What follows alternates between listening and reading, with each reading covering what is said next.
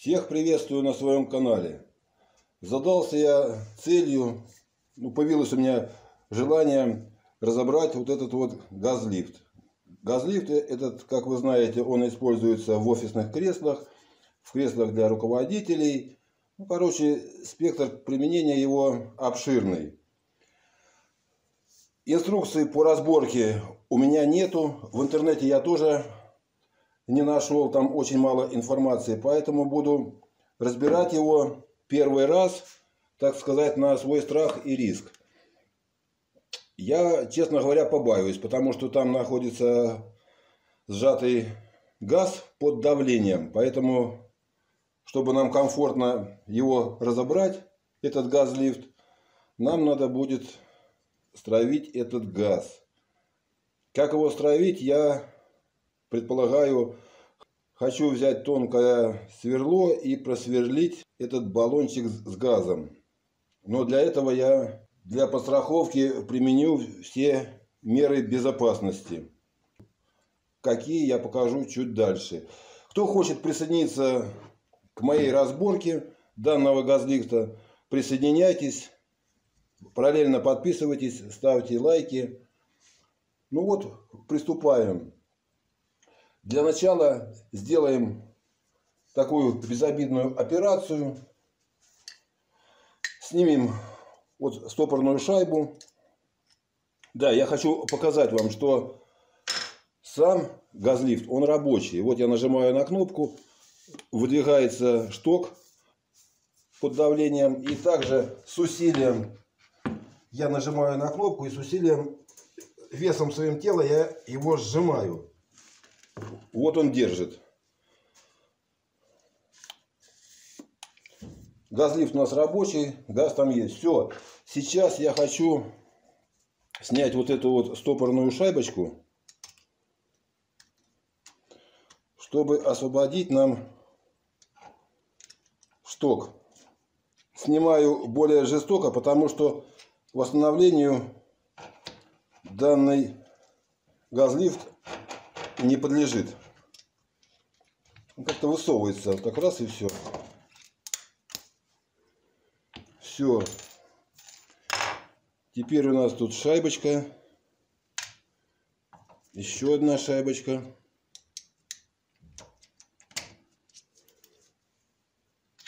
Вот, теперь я вижу сам шток. Он по-хорошему должен сняться. Так, тут у нас вот резинка, которая вышла из строя. Вот опора подшипника. Это все. Вот тут все поразлетелось. Но подшипник еще хороший. Можно будет его использовать вот, для других целей. Так, это вот самое безопасное, что я мог сделать. Теперь вот у меня в руках внутренняя часть газлифта, где находится газ. Я использую вот такую вот схему, чертеж для того, чтобы понять, где находится сам газ и где мне просверлить отверстие, чтобы газ этот стравить. Вот если вот так вот посмотреть, вот так вот, то согласно чертежа баллон высокого давления у нас находится вот в этом месте. Поэтому здесь нам надо и сверлить отверстие. Приступаем. Перед тем, как приступить к сверлению, я произвел часть подготовительных работ. Во-первых, чтобы сверло не гуляло, я накернил слегка, не очень сильно чуть-чуть, чтобы только сверло зацепилось. Дальше что я сделал? Сделал такой вот защитный ну, чехол. Для чего я сделал? Я не знаю, что будет, когда я начну сверлить, и может быть оттуда что-то выскочит или еще чего. Вот я из куска жести свернул по диаметру газлифта здесь просверлил отверстие для того, чтобы вставить сверло. И вот таким образом я сейчас хочу зажать в тиски. Ну, тоже лишний раз постраховываюсь.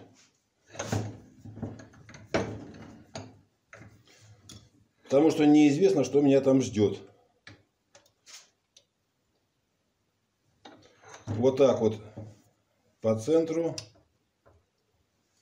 и зажимаю. Вставляю ровненько, зажимаю.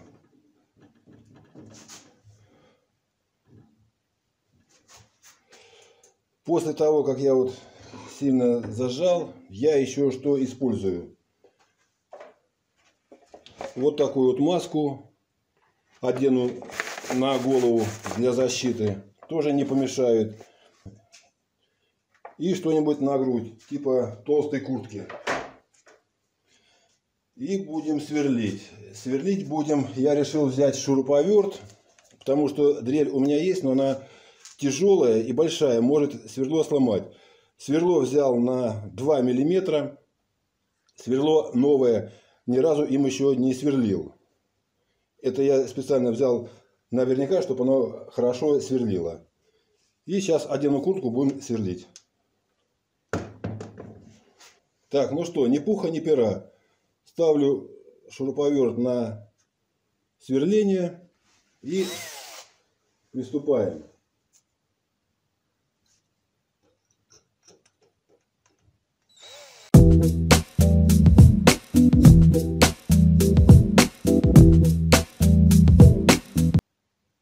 Целях безопасности вот решил сюда капнуть водички, чтобы не было здесь никаких искр и не было никакого возгорания. Ну, для профилактики. Все, продолжаем дальше сверлить.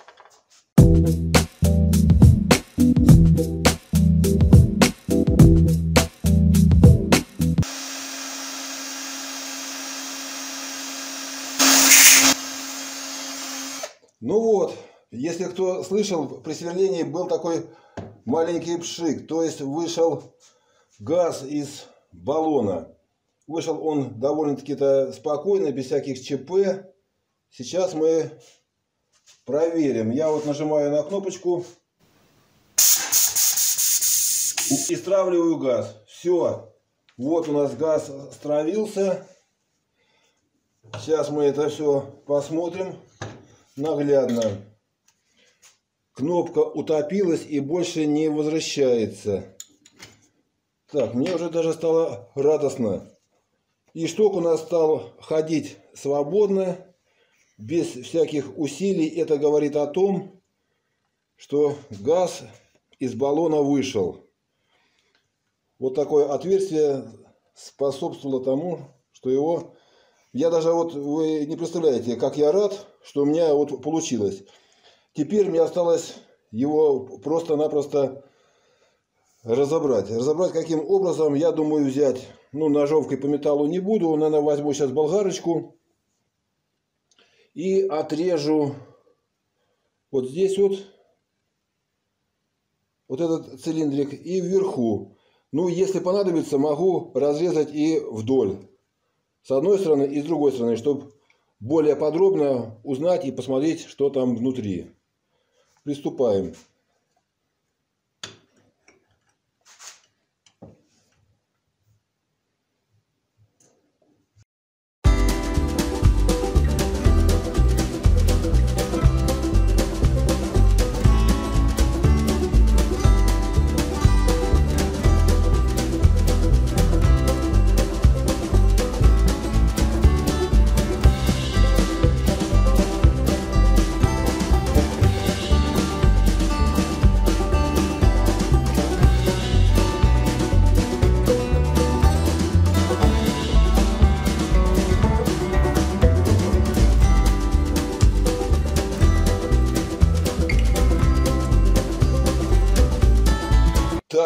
Вот я перехожу к финальной части своей разборки.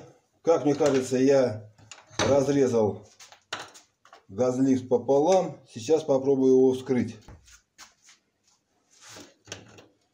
Может быть, я здесь где-то не допилил. Ну, сейчас посмотрим.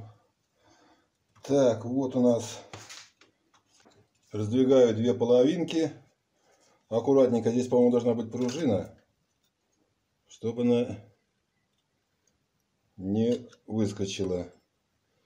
Так, уже хорошо. Это у нас... Что у нас это такое? Это уплотнитель. Вот, оказывается, цилиндр в цилиндре. Тут два цилиндра. Это у нас, если смотреть по схеме, это у нас тут опять уплотнитель идет. Держатель и поршенек вот с колечком. Аккуратненько сейчас. Здесь где-то должна быть. Так, вот у нас. Да, вот я кольцо разрезал. Резиновое.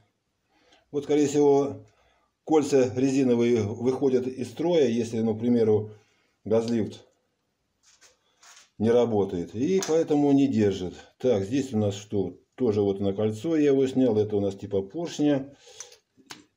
Опа, выскочил сам поршенек. Вот такого плана вот он. Дальше смотрим, что у нас тут. Что-то типа масла у нас тут. Или это может быть от газа остался конденсат. Ну, что-то я здесь пружины не нашел. Вот у нас голый цилиндр. Вот он сам шток поршнем. Это, я так понял, стакан. Где-то все хозяйство ходит. И тоже вот тут где-то должен быть клапан. Короче, вот, как вы видите, Разобрал я газлифт первый раз в своей жизни. Слава богу, без всяких ЧП, без всяких неприятностей. Вот что находится внутри. Вот я здесь на столе сложу. Так что, в принципе, ничего сложного и опасного в этом нету. Можно спокойно просверлить отверстие, стравить газ и разобрать вот таким жестоким способом газлифт. На этом я хочу закончить свое видео. Подписывайтесь, ставьте лайки, пишите комментарии. Буду рад вас видеть на своем канале. Все, всем пока.